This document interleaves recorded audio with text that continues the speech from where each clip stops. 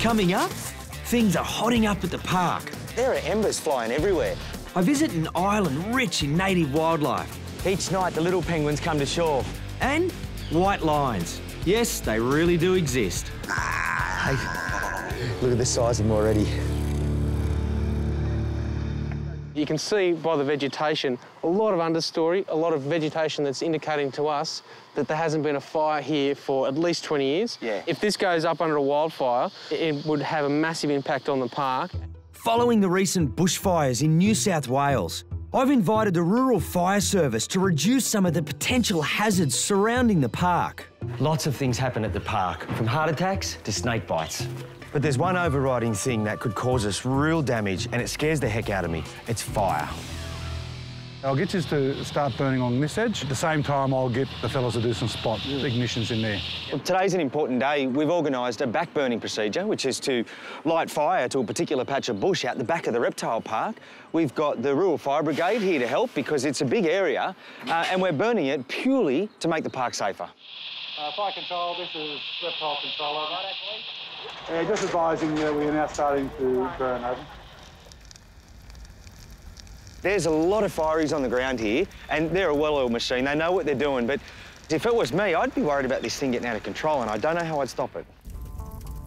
Can I have those drip torches over here, please?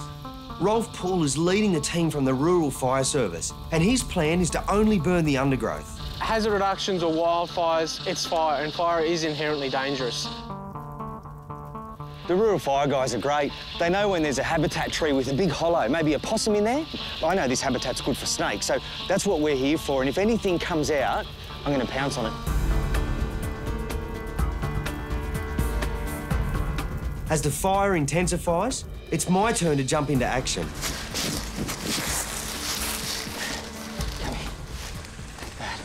It's an eastern water dragon.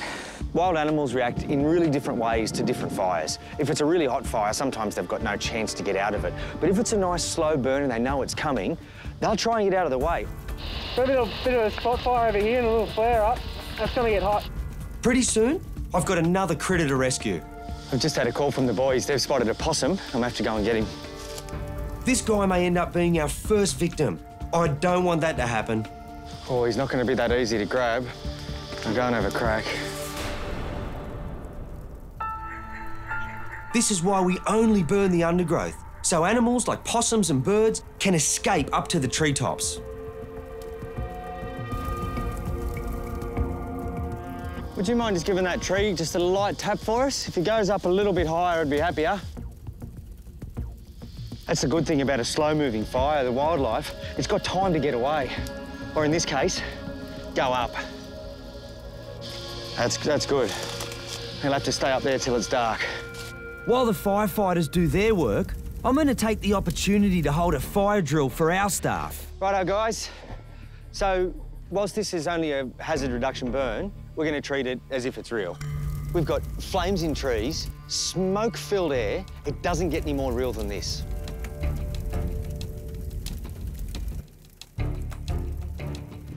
You can see from here, the fire, it's just on the edge of the park. It's literally right there.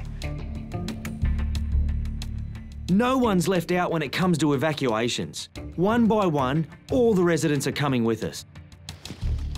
Come on, Danny, come, you're coming for a little trip. You all right? Good girl. Good girl. We might only have one chance at this.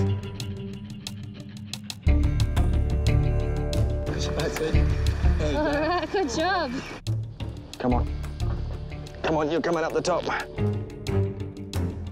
This is a bushfire.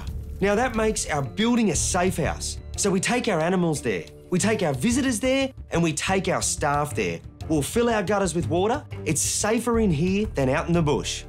There you go, Cassidy. Just down here. There you go, mate. Should be right now. Anywhere in on the ground's okay. Air conditioner's on. Hello. With the animals safe, I'm sending Keeper Jimbo out to keep a watch on the fire zone. Everyone has a different role when the fire comes, and we all know what that role is. But for Jim, it's an important role. He's the man on the ground because he's our eyes and ears. He's the fella that says, I've got a fire outbreak, and we draw our attention there. Really important. But when Jimbo gets to the fire zone, there's bad news. Go ahead, Jimbo. to get up here. This fire's starting to get a little bit fierce. There's a few embers floating around. We might get a few spot fires on it. Yeah, okay, mate. I can see a lot of smoke. I'll round up the troops. Righto, see you soon.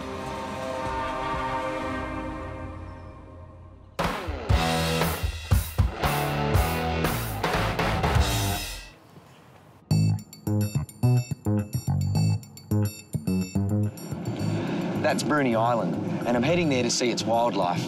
The place is intact, its ecosystems are alive. It's suffered a little at the hands of people, but not as much as other places. The feral pests, the habitat destruction, not so extensive, and the island and its wildlife are alive. Bruny is part of Tasmania and lies just south of its capital, Hobart. I'm here for 48 hours and there's a few species I'm keen to see.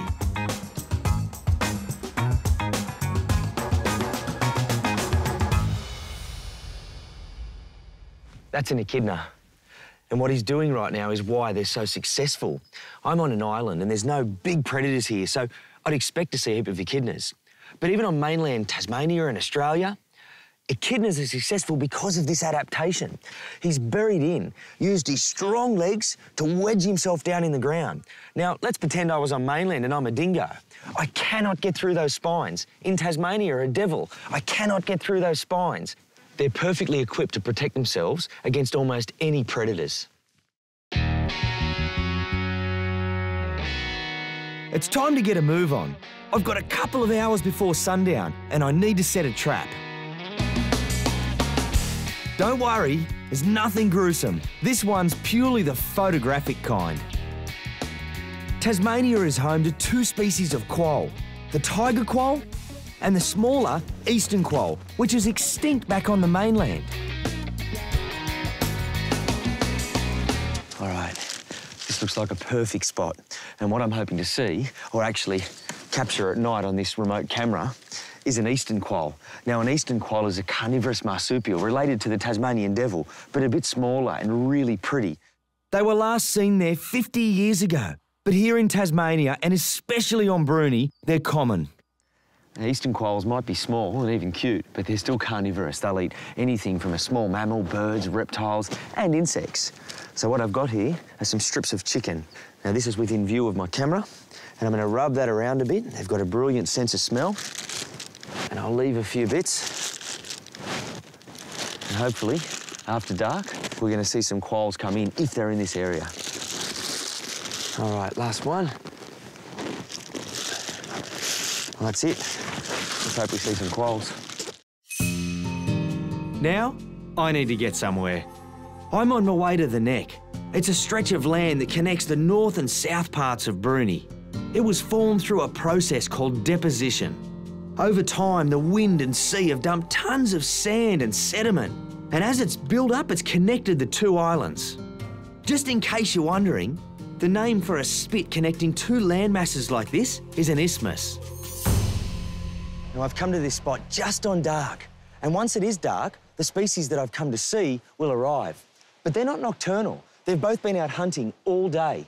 One is the short-tailed shearwater, and it's a pelagic seabird that flies just above the sea surface, looking for schools of baitfish. When it finds them, it dives in and catches its food. The other is the little penguin. They wait for dark because it's safer. They don't want to lead any potential predators to their chicks. And the reason they come here? Well, it's because the neck provides the perfect opportunity for the birds to burrow. Now, judging by the size of that, I reckon it's a shearwater. The penguin burrow would be a little bit bigger, and that'll be about a metre deep.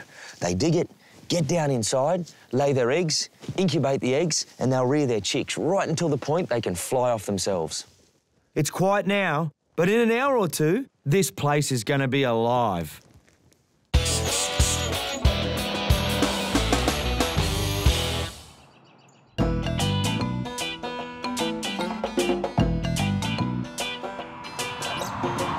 A wildlife park not too far from Bruny, where I've been told there's a couple of new arrivals. I don't need to be asked twice when I get an invite to go see some rare exotics.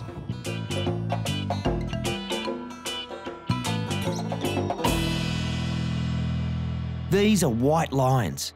They're not albinos. Their colour is caused by what's called a recessive gene. These two are only 14 weeks old. Hey, look at the size of them already. They're the first ever born in captivity in Tasmania. Mum Kiara and Dad Bakari were brought here as cubs in 2009. So to have a successful mating so soon is pretty special. The white lion is native to the Timbavati region of South Africa, but it was extinct in the wild until a reintroduction a few years ago. 20 years of research by the White Lion Trust eventually led to a family of lions being introduced onto a protected reserve. There's still some concern amongst the scientific community regarding the reintroduction, mainly around whether the lions were too closely related. But apparently, since their reintroduction, they've been hunting and breeding successfully.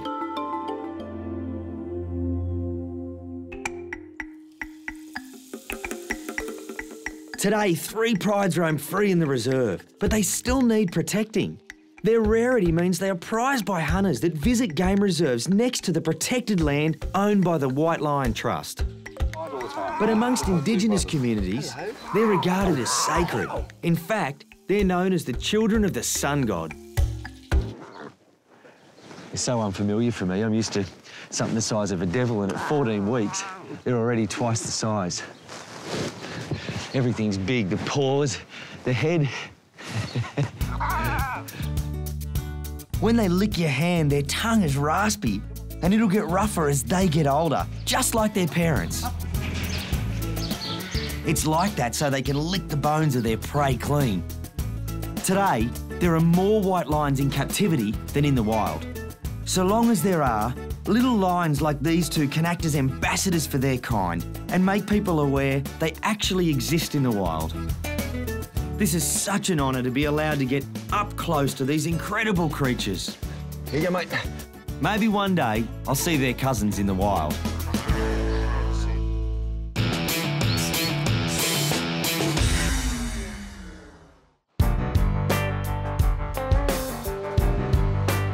I'm back on Bruny Island, just south of Hobart. This spit of land is the neck, and at night it comes to life. I can see groups of shearwaters starting to congregate just offshore. But like I said, they won't come on land until it's dark. As for the penguins, well, they're out there too, but they'll be a little more hidden in the water. I think once it's dark, I'll hear them before I see them. All that's left to do now is wait for the sun to go down when the action begins.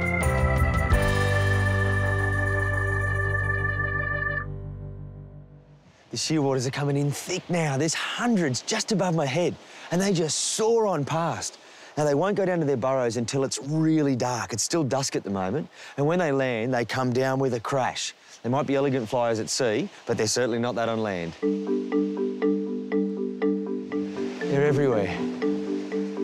Some of them come right down close.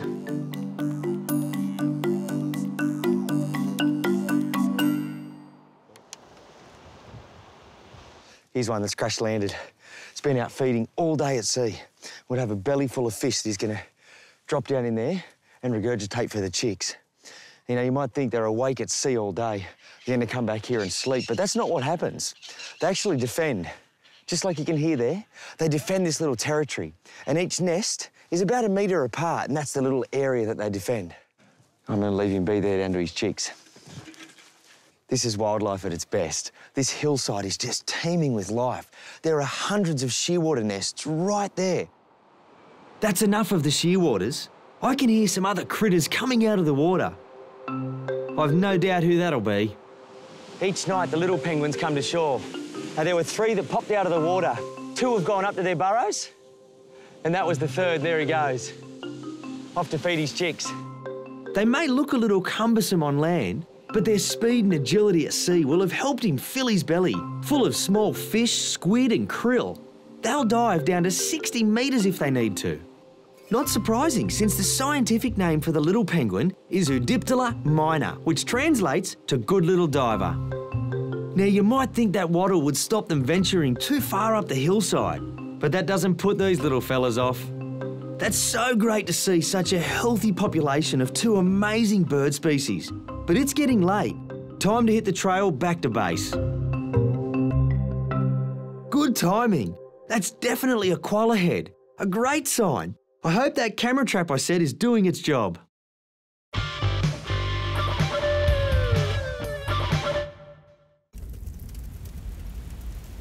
There's a lot of smoke up there. The Tim, Go ahead, Jimbo. pick it up here. This fire's starting to get a little bit fierce. There's a few embers floating around. We might get a few spot fires on it. Yeah, okay, mate. I can see a lot of smoke. I'll round up the troops now. Righto, see you soon. We're conducting a controlled burn just outside the park. But my man Jimbo's concerned it's drifting dangerously close. It may only be a hazard reduction burn, but it still has risk. If the wind changes or an ember carries, fire could jump and Reptile Park could be at risk. No more flame height than a metre. Full stop. These boys are on alert. Yeah, Andrew, it's Frank. Don't light anymore at the moment, mate. Uh, I'm going to have to relook at the plan with that wind change. There is a change coming later today, so we want to get the most of the burn done before that wind change occurs. Any swift change in any weather condition can mean a completely different fire behaviour. All right, just wait a minute. Watch that wind for a moment. I want to see what she does. Just what we didn't want. The forecast is for a late change in the wind's direction. Oh, the wind's supposed to be coming from the northeast, sort of buggering up which way I want to do the burn. Just hold it there for a minute. The crews are having to work fast to protect the fence line. Uh, attention, all units. This is control. Just watch out for spotting. The wind has changed and moving towards the reptile park. Uh, The fire's under control, but there are embers flying everywhere. So what I need to do now is call my park staff up. We need to just be inside here and make sure that one hot ember doesn't hit the ground and ignite. Can you just send one or two sentries in here just to keep an eye on this? Everything okay there? You right, mate. Chris, what I'd like you to do, please, is just stay here. That's an old pile of browse, Yep. and the fireys do not want that to go up. Okay. So please just stay here. If you even see a hot ember come down, call me or just grab one of them and tell them. Yep. Okay? Good on you. There are park staff in here, but I think just a couple of firefighters keep an eye on over there in particular. We'll just patrol the fence every now and then. You know, that fire's really going. The fire is intense and it's creating its own wind. The possibility of embers dropping into the park is really worrying me now. That's hot. We're at a distance, and that's very uncomfortable for me. These guys are used to it, and they're in and around it. That's scary. Mick's still up at pit six. The fire's just reached there. So he's going to hang around there for a few minutes and just check for spot fires. I'm going to keep an eye out over there. Pretty gnarly, eh? We've got approximately 25 firefighters on the ground here. Whilst the burn is not that big, uh, we need that many people because we are burning at a hotter part of the year. And because the fuels are a little bit drier, we want to just make sure we've got enough people on the ground. Fire comms, reptile park control. Receiving, go ahead, over. Yeah, roger. Yeah, we're calming it down now. Receive that, thank you. Falcon clear. Look all the way around, it's all in the clear. Excellent, thank you.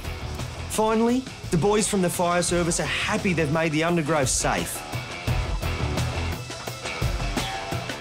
There were times where I was on edge today. The flames were high and embers were taking off. But in the end, I didn't need to worry. It all went like clockwork, and the park's safer for it. The Australian native bushland is designed to burn. Many plant species won't actually resprout or germinate without fire. We've removed some of the habitat, we've created some new habitat for other wildlife in the future. So it's really part of the natural Australian cycle and we, we need to learn how to live with bushfires. How'd we go, mate? Happy? Excellent. We've reduced the fuels, uh, just in the mopping up phase now. It's all gone very well. You can see the fuel was basically up around our waist Yeah. before, we've got rid of it. But that really is an indicator that when you least expect the fuel is that dry, you know, it really doesn't take much for it to burn. Because of the burn today, the park's now safe from fire for the next five to seven years. And for someone whose responsibility it is to look after the park, that's a big relief. Hello, mate. There you go.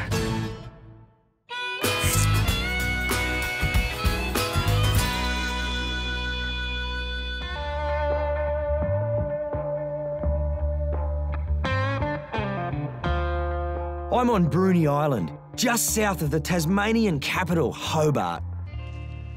All right, now it's early morning. I'm back to get the camera, hopefully with some quolls and who knows what else might be on there. I can see the chicken's gone. Now, it might have been a currawong. I guess the proof will be in that camera. It's two quolls. Even though that's just on camera and not seeing them in the wild, that's a real achievement. Oh, there's a black one. Black eastern quolls, they're pretty rare. They're only found at a few spots in Tasmania. There's one here. And that's three quolls because there's been two fawn quolls, the normal colour, and one black. In one little area. Even though the food's gone now, well, I think it's gone, they're still there just sniffing around. They've got a great sense of smell and they're drawn into that. The quolls are just so abundant and it's so good to see them.